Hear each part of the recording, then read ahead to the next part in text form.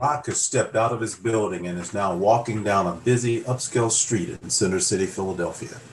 He comes across Christmas carolers on the corner who are cheerfully singing. We wish you a Merry Christmas. We wish you a Merry Christmas. We wish you a Merry Christmas They extend a red bucket in his direction so he can give a donation. Wish you a Merry Christmas. We wish you a Merry Christmas and a Happy New Year. He makes a face of disgust, pushes it out of his way. He continues his walk, and as a homeless man extends a cup towards him for a little charity, he knocks the cup out of his hand and keeps walking. Then he bumps into a woman who's out shopping with three preteen girls who all have packages and gifts in their hands.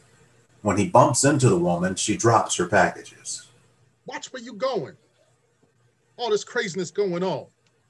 People should be making money, not spending it and giving it away. Y'all are a bunch of poor and pathetic lost souls. The girls begin to sass him as their mother is picking up the packages. For us, now that look ain't complete. Words are bouncing around my head. I can't stop Bah, it. humbug. You better keep it moving.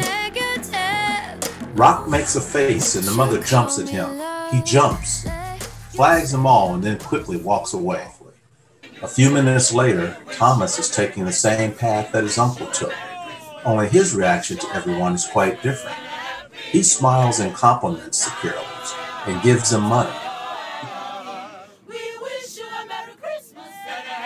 He purchases a cup of hot chocolate from a nearby food truck and gives it to the homeless man, along with dropping some money into his cup. He then enters the office building. Merry Christmas, Mr. Scrooge. Hmm. What's so merry about it?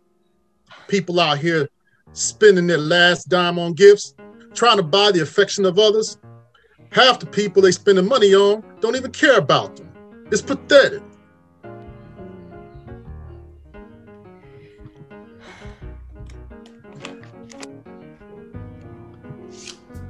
What is that? What? Well, since you made me cancel the carolers, I had G put together a Christmas playlist, and that, along with the goodies that was sent over by the building manager, I mean, it just has the Christmas spirit just flowing. I mean, isn't it great? Hmm, great. Bah humbug. Ah. It's not great. Turn that music off. And everybody better get back to work. This is a place of business. And I don't pay you to eat and play. I pay you to work. As Rock's back is turned, Thomas tries to sneak past him with a small wrapped gift in his hand, but Rock sees him.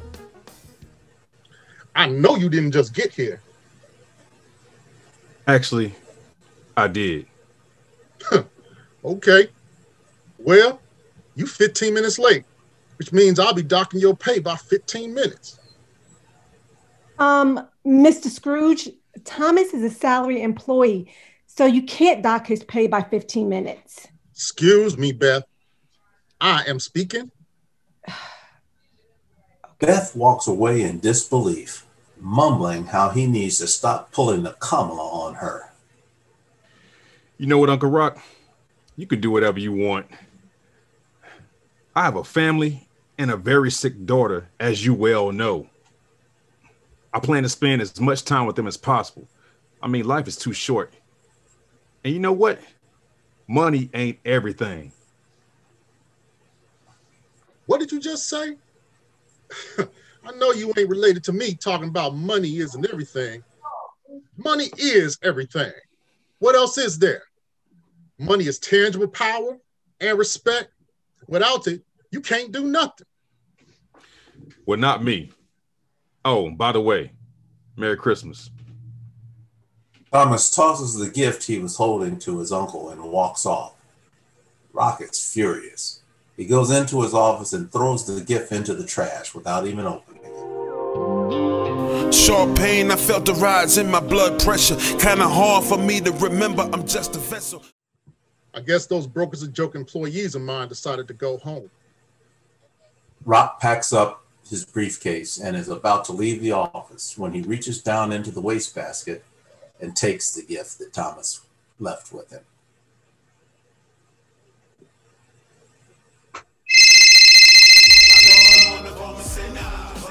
Hello? Merry Christmas, Unc.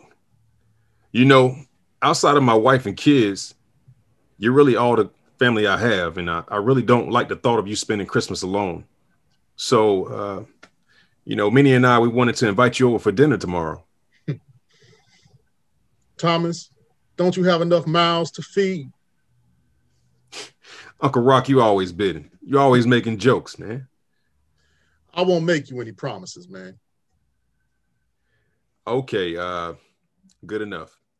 We hope to see you tomorrow. Good night, Uncle Rock.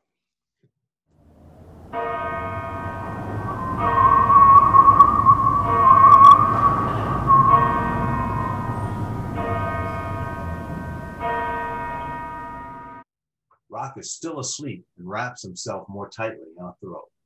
Suddenly, there's a stranger standing next to him who snatches him up out of his chair. Rocks begins to swing at him, trying to fight them off, but it's no use. The stranger has superhuman strength. They push Rock out of his apartment door and they find themselves in his past as a teenager with a sparring partner. They are in his basement training. One, two. One, two. One, two. Woo! I can't wait until my pop gets home. He's gonna love this combo and the speed. Woo! Untouchable. Yo, what is this? And- and who are you? Wait, wait, wait. That's me. Yo, those hands can't nobody mess with those hands. And that's my man.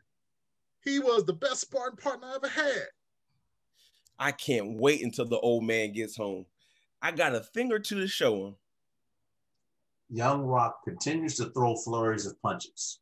He's very fast and very good. He ends with a right hook when he hears his mother. Rock! Rock! Come quick! It's your father! We gotta go! It's Pop. What's wrong with Pop?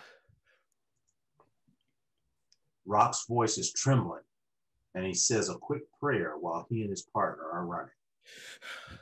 Lord, please let my Pop be okay. He was a decent, hardworking man. He loved us. He was good to us.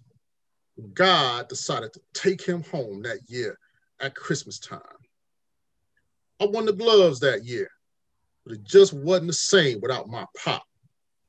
I lost my love for the fight game. You lost your love for a lot of things that year when your father died. You stopped playing keyboards for the church. You let his death break you. Yeah, yeah, yeah, yeah, whatever. We done yet? Not yet. There's something else I need to show you. Hey, Rock. I, I, I know it's hard, but she would have wanted you to enjoy this day. You worked hard for this, and you deserve to celebrate your accomplishment. Celebrate? Are you serious, Mom?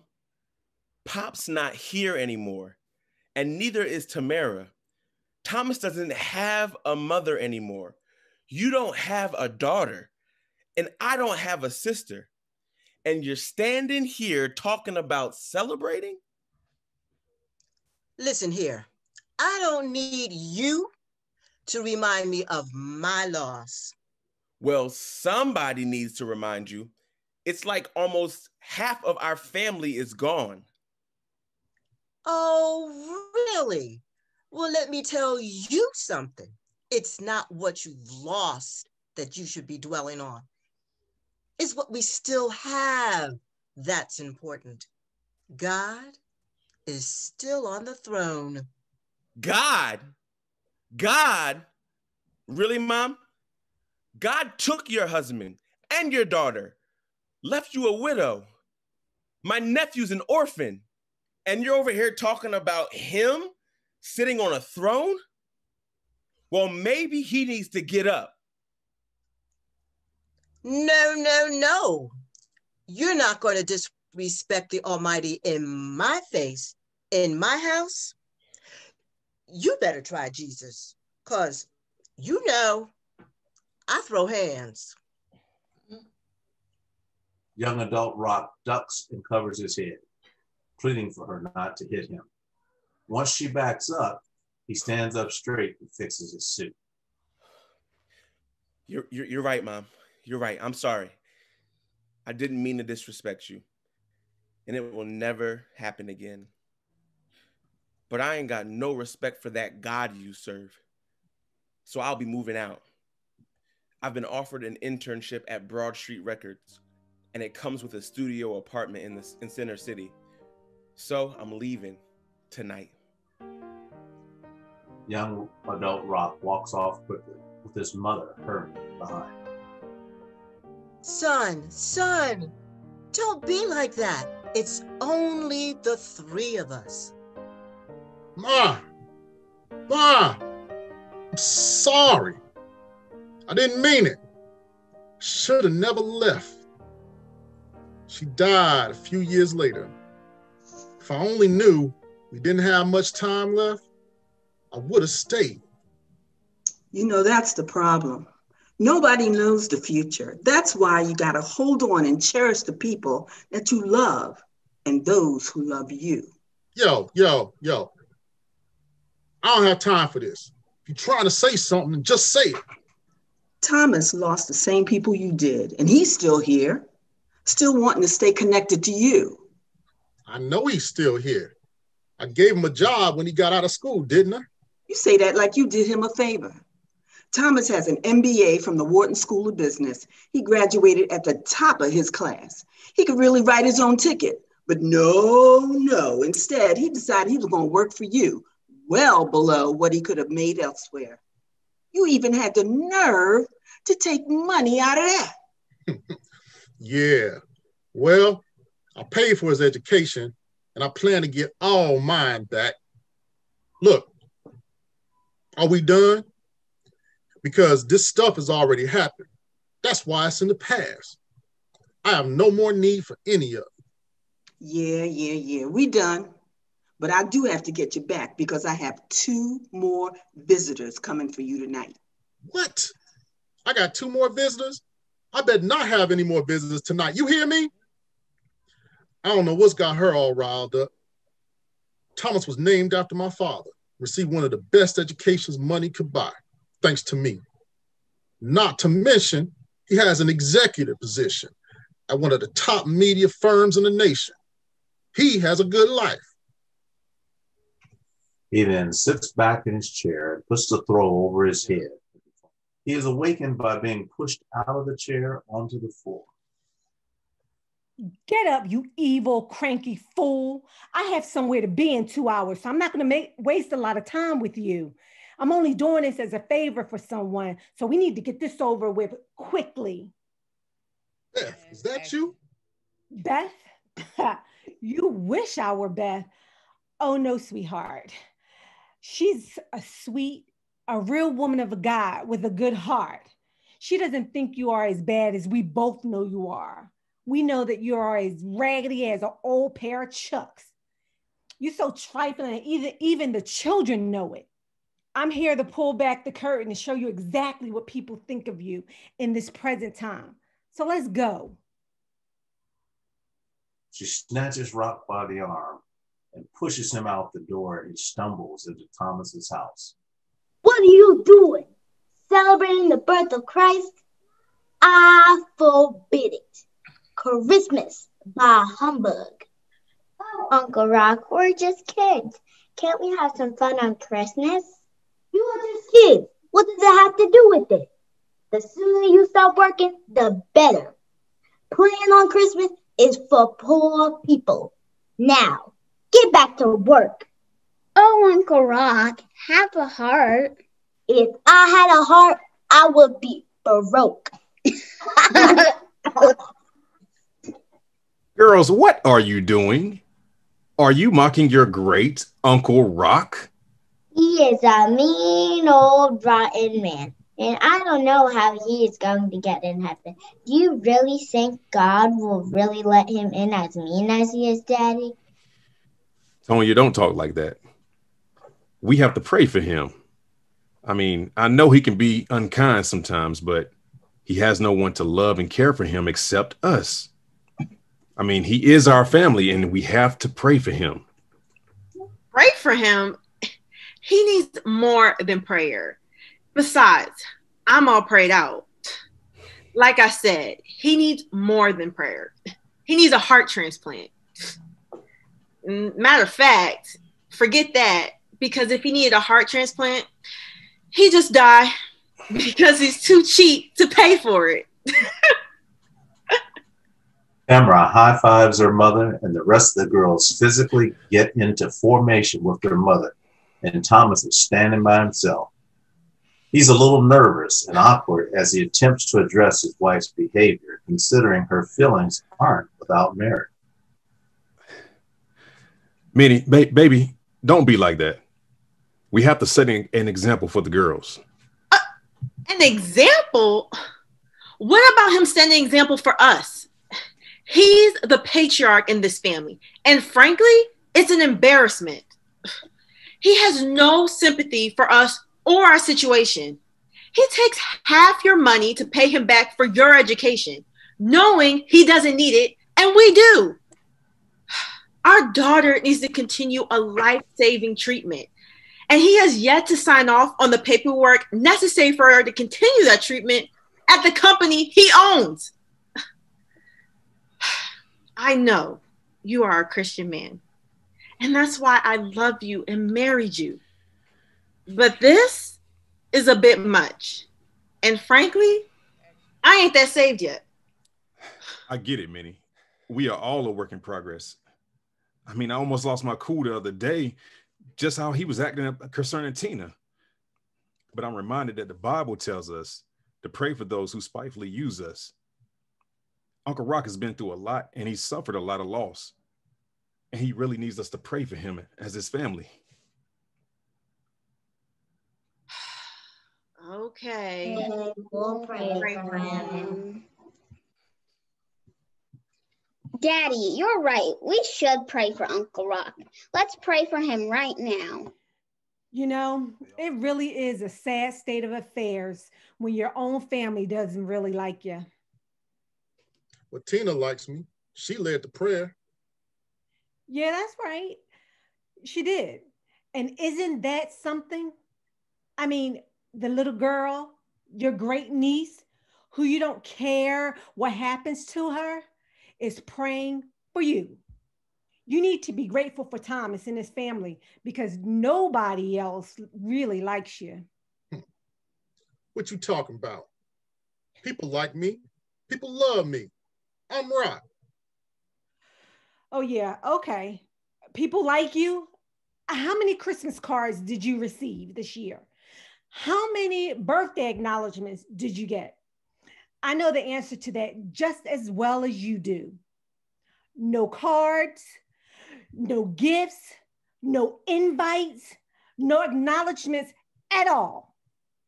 You are a mean, arrogant, rude, petty individual, and nobody likes you. I ain't that bad, am I? Well, listen, let's judge for yourself. Yeah, I, why, na, na, na, Gee, that's my young bull. Check him out, looking sharp like I taught him. He reminds me of myself when I was a college man. Tell you the truth, that's why I hired him. And I see he's a player after my own heart. I see you pimping. I see you. Shh, shh, shut up and listen. And I'm telling y'all, he is the worst. I've never seen somebody with so much money be so cheap. I mean, he is so selfish. he would do anything for anybody unless it benefits him in the end. What's he talking about? That's good business. What? He can't. Man, I wrote up a Christmas bonus proposal giving all the employees a hundred dollar bonus for Christmas, and this dude dropped it down to five. No, it's what? Five dollars. Oh, What's anybody supposed to buy with that? A four for four? Come on. What I said. You have one more visitation tonight, and you had better hope and pray that by the time it's over, it's not too late. Hmm. Not too late. Too late for what? Listen here, girl. You don't want to be wasting your time singing solo in the church choir. I can make you a star. Purple work I need you to sign on upstairs. Then the world is yours. She is very giddy and naive. They arrive in front of the building where he lives, and someone begins to call him off in the distance. His voice is hostile, and he walks right up on Rock and the young lady. Rob. Yo, Rob. You owe me some bread, homie. You told me my marketing blitz was going to start last week, and I ain't seen enough. I owe you money. Dog, I don't owe you nothing. I can't help it if people ain't feeling you. What you mean you can't help if people not feeling me? That's your job, dog. Make them feel me. I came to you. You told me it was gonna hit me off with a nice campaign, and I gave you my last 50 grand. This was supposed to be my come out, out, out in them streets. Yo, come up. Are you serious? Dude, how'd you ever think that a 50 year old man was going to break into the gangster rap music genre? Nobody want to hear you. You not Jay Z or Busta Rhymes. This was your first album at 50. You a joke. I did you a favor, and now I'm about to do you another one. Here, take this. About $20. Go buy you one of them Jamaican platters. Some comfort food will help you sleep good tonight. That's about all you're gonna get from me. Rock pushes the money into the man's chest, and the man lets it fall to the ground. Rock chuckles sarcastically and puts the large amount of cash he took the $20 from back in his pocket. Come on, baby. Oh, and another thing. Don't you ever, ever pull up on me again. The man becomes irate and pulls a gun from his waistband. The young lady screams and runs. oh, you think it's sweet? Do I like peanut butter cake to you, homie? You gonna pull a strap on me? So what? I- I'm supposed to be scared? You wanna shoot me? Okay. Shoot me. Shoot me. Shoot me. Everybody wants to be hardcore. Everybody wants to be hard. You like it when we're bringing it hardcore. That's why we're bringing it hard. Baby, we let's pray. We got to pray right now. I have a bad feeling that something's wrong. I don't know what it is, but I keep thinking about Uncle Rock. Something's bad is happening when I feel this. I, I can feel it in my spirit. Really? Your uncle? The same uncle that still hasn't signed off on the pre-authorization necessary for our daughter to continue continue her treatment? That uncle, right? Well, the Bible says you reap what you sow. So, if something bad is happening to him, then good for him. He probably brought it on himself. Minnie, I haven't forgotten that he's standing in the way of our daughter completing her protocol. But us praying for him, it isn't about that. Aren't we supposed to intercede for people like my uncle? Or we just shrug our shoulders and, and turn the other way? I mean, if we can't show mercy and pray for him, why should God show mercy and pray for us? We're not sinless. We're not perfect. He's hurting, and hurt people actually hurt other hurt people. He and I, we all we got outside of you and the girls. And I can't give up on him like that. I can't. Okay, Thomas. Let's pray. and Rock is suddenly surrounded by dark spirits who are now dragging him into utter darkness. He begins to scream and try to pull away, but it's of no use. He's powerless. Suddenly, an army of warrior angels arrive and grab him from the clutches of the dark spirits. They try to fight to hold on to him, but they are no match for the angelic hosts. While some of them are able to beat back the dark spirits, another one removes Rock from that space, and he's suddenly standing alone and very distraught. What's happening? Were those angels and demons? And some fool shot me. Oh, wait, wait a minute. Oh, hold up. I know what this is. Got jokes. You got jokes. I know you're behind all of this. So what? What? What you want from me? You want me to serve you? You want me to surrender my life? You want me to bow down and worship you? Why should I? Huh? Tell me why should I? The first time I trusted you with my life, you took my father from me. That man was everything to me, and I wanted to be just like him. I, I, I became a junior deacon, trying to follow in his footsteps. Yet you let him die like a dog in the streets.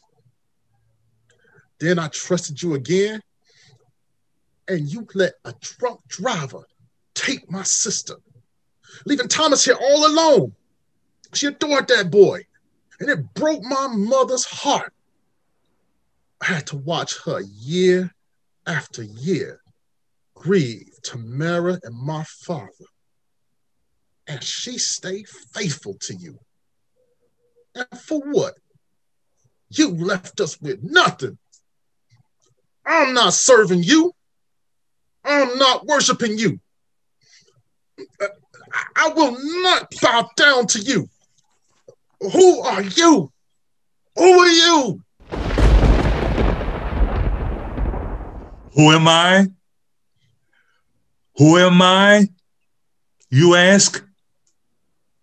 Ebenezer Scrooge? I am he who knew you before I formed you in your mother's womb. I am he who has laid the foundations of the earth. I am he who provides food for the raven. I am he who gave Solomon all of his wisdom and riches. I am he who formed man from the dust of the earth and fashioned woman from his rib. Who am I? I am he whose word is like a hammer that breaks the rock into pieces. Rock is completely broken before the Lord and begins to ask for forgiveness. I am he who knows the plans I have for you, plans of good and not evil. I am he who has numbered the very hairs on your head. I am he who has loved the world so much that I sent my only begotten Son into the world that the world through him might be saved, and that includes you. Lord, forgive me. Forgive me. I've been a fool, God. I, I, I, I need you, Lord. Lord, please forgive me.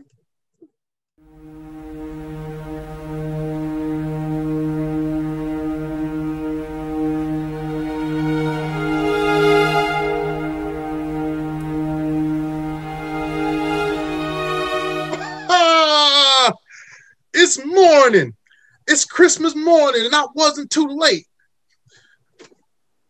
Thank you, Jesus. It wasn't too late. Merry Christmas. I gotta, I gotta go.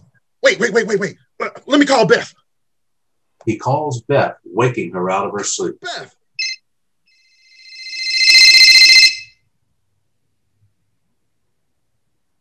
Hello? Mr. Scrooge? It's Christmas and I'm not working today. Listen, I've tried to be patient with you, but I have to draw the line somewhere. You, you, you, you're absolutely right. And, and, and I respect that. But I, I really need you to do this for me. Well, it's actually for everyone else. My nephew, my great nieces, you, and everyone at the office. Mr. Scrooge, what are you talking about? I know, I know, I know, I know. Just just listen. I need you to email the pre-authorization forms from HR for Thomas's insurance. And I need you to cash out all the employees a $500 Christmas bonus. Uh, all right, now wait. Gee, stop playing on my phone, boy. Beth, it's me, Ebenezer. Really? Are you okay? yes, Beth. I'm okay. Let's just say I had a real come to Jesus moment. Oh, and, and make sure you double that bonus for yourself. We'll talk after the new year about your raise or promotion because everyone will be off with pay until then. Merry Christmas, Beth. And email that paperwork. I, I, gotta go. Ooh, hallelujah, hallelujah. Oh, um, yeah, um, yeah, yes, sir, Mr. Scrooge. Um, um, right away, sir. And oh, oh and, and and um, Merry Christmas. They hang up, and meanwhile, at the Thomas's house, the girls are opening their gifts, laughing and playing. Thomas and Minnie are drinking coffee and watching them from a distance with heavy hearts. Suddenly, there's a knock at the door. Who could that be this early on Christmas? I, I don't know. Uh, who is it? It's me, your uncle. Uncle Rock?